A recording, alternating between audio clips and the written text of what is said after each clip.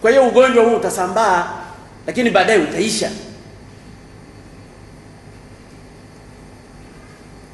Lakini kama unajua, kuna mambo mengine ya ajabu.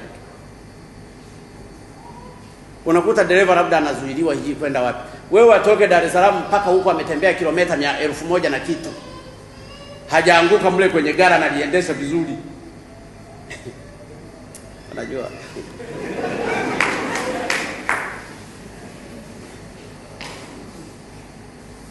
na ndiyo maana ndugu zangu, mimi sikufunga mipaka, niliheshimu majirani zangu. Tumezungukwa na nchi karibu nane. Ukizifungia maana yake umezinyima uchumi wao. Kuna baadhi ya nchi chakula zinategemea vyakula vya Tanzania, mahindi, mchere.